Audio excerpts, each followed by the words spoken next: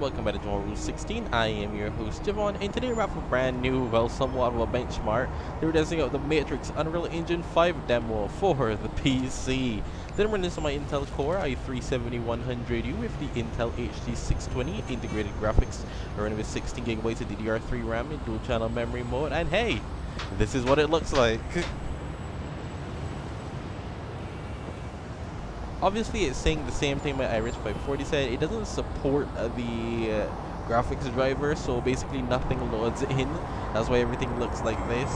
I am running on the lowest preset right now though, uh, like really low, like 50% of 720p. Not even that. It should be lower to be honest with you, but we do have all the settings set to low, and basically, this is how the game comes out. I mean, what more could you want, right?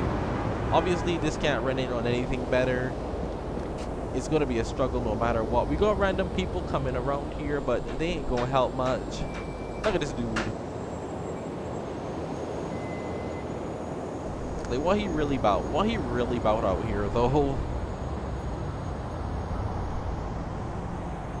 I must say that having the extra RAM definitely helps. The 16 gigs definitely helps make it more smooth. The Iris didn't have that issue. Look, there's nothing here. There's nothing here. But I can try. I don't even know why I did that. There's no point. There's no point to it. There's no cars.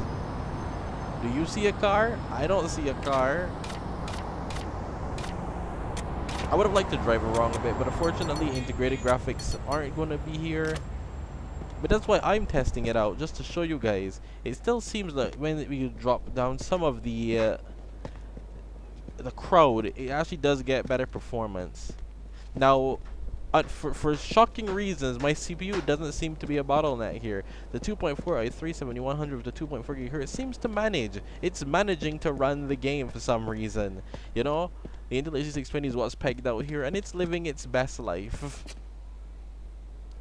There's not much else I can say, but I hope you guys enjoy. I just wanted to put this up because I realized no one else wanted to test the integrated graphics.